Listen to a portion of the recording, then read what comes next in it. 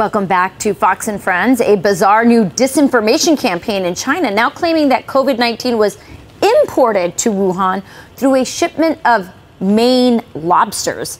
This, as the National Institutes of Health admits that the U.S did fund gain of function research in Wuhan, contradicting previous claims from Dr. Fauci. Here to react is former State Department spokesperson Morgan Ortagus. So this isn't welcome, first of all, Morgan. Always great to see you.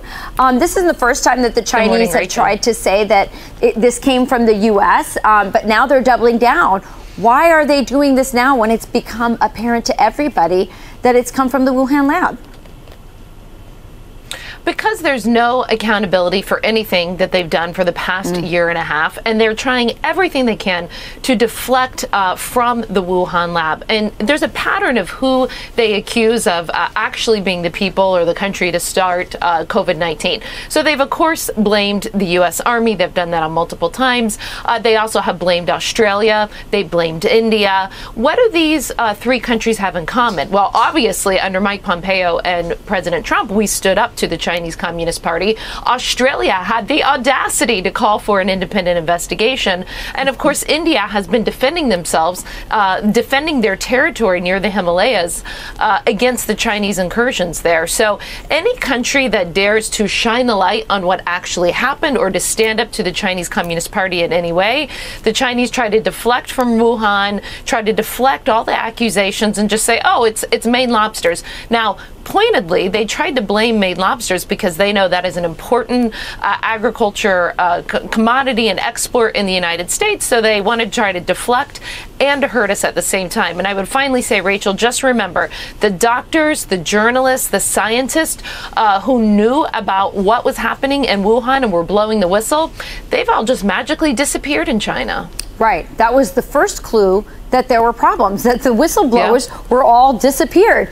And you talk about holding China account- accountable. Maybe we ought to start with holding Dr. Fauci accountable, who did everything he could. And we now have the, the letters of him colluding with other scientists to try and hide the fact that the U.S. was, was funding gain of function. But more importantly, just trying to get us off the idea of China when nobody should, could have known better than Fauci about what was happening in that lab. He he was all down with everyone saying that you were racist if you suggested that it came from China.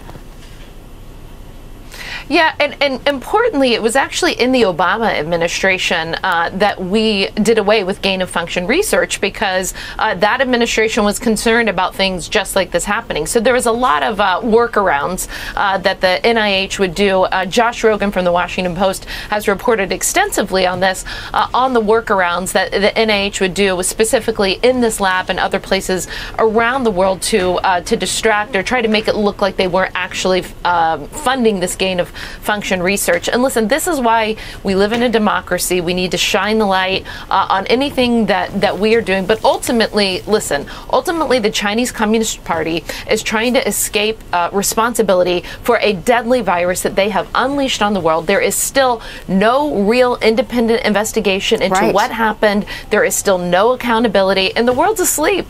Right. And our government appears to be an apologist for the Chinese government in this in this cover up, yeah. and you have to wonder why. Maybe it's the big guy. Um, thanks a lot, Morgan, and for sharing this information. It's so important. It's the most important yeah. topic going on right now. So thank you. I agree.